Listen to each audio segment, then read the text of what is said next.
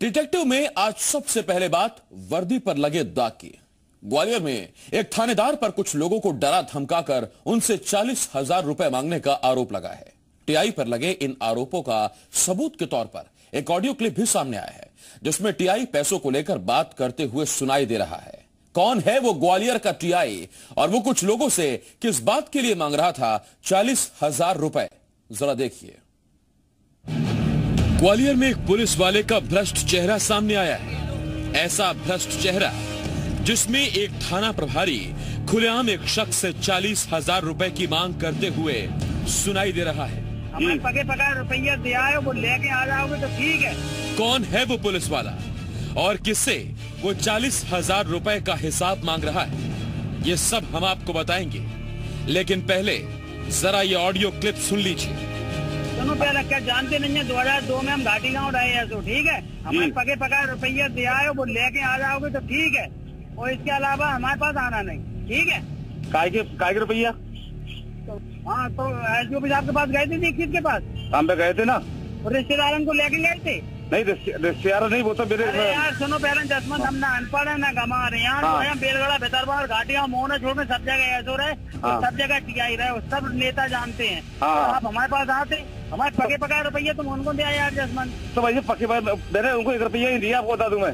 चलो तो हमें दे जाना आ जाओ फिर हमारे तुम छोटे भाई हो। नहीं, तो दिया तो हमारे छोटे भाई हो जो चाहो वैसा करेंगे ठीक है? चलिए अब हम आपको समझाते हैं कि असल में पूरा माजरा है क्या। दरअसल ग्वालियर के घाटी गाँव के टीआई के एन त्रिपाठी पर आरोप है कि उन्होंने राई गाँव के कुछ युवकों को जबरन चोरी के एक केस में फंसवाने की धमकी देकर उनसे रुपयों की मांग कर डाली।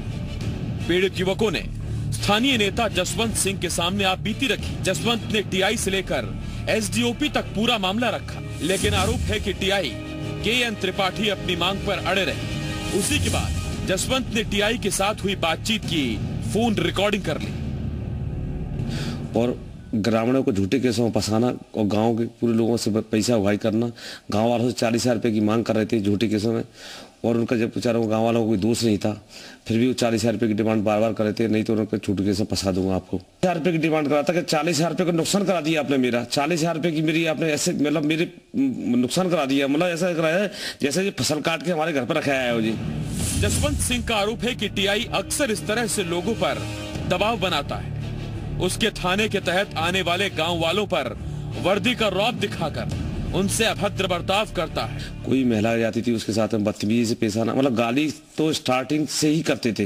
कोई फरियादी फरियाद लेके जाता था उसका सीधा सीधा मतलब स्टार्टिंग ही गाली से होती थी। माँ बहन की गंदी गंदी गालियाँ जो कि मैं इस इस पर नहीं बोल सकता चैनल पर। फ़िलहाल ये ऑडियो क्लिप सामने आने के बाद ग्वालियर एसपी ने आरोपी टीआई को लाइन अटैच कर दिया है। और इस पूरे मामले की जाँच की जा रही है।